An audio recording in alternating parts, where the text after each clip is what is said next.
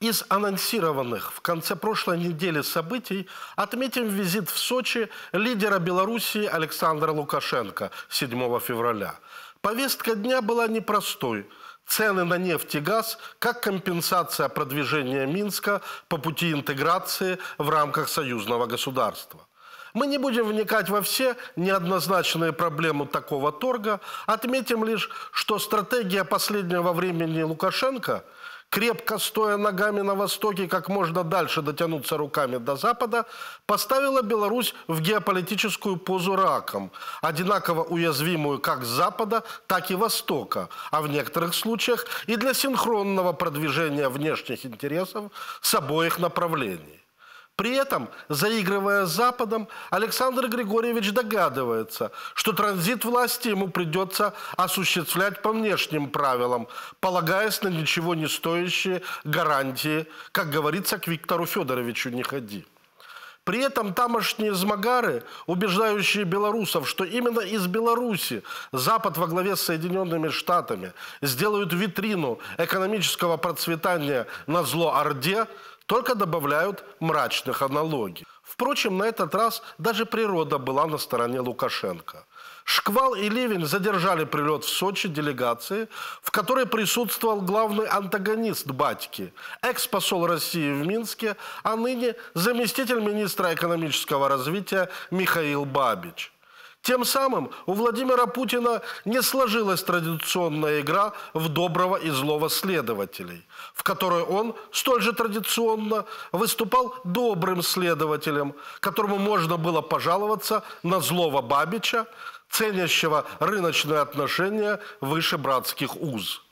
Это позволило президенту Белоруссии частично перевести логику сосуществования в союзном государстве в русло личных отношений чему, несомненно, способствовала атмосфера хоккейного матча, в котором оба президента, а также сын Александра Григорьевича Николай играли за одну команду.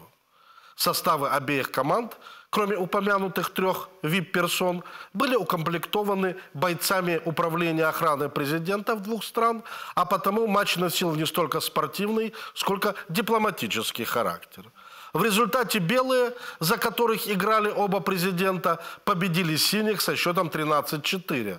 Два гола забил президент Белоруссии, четыре его сын. Авторство остальных семи мы не рискнем назвать в силу существования запрета на позитивное освещение деятельности президента страны-агрессора. При этом опытные политики отметили, что несколько раз, выходя один на один с вратарем, Лукашенко-младший отдавал пас назад под удар Владимиру Путину.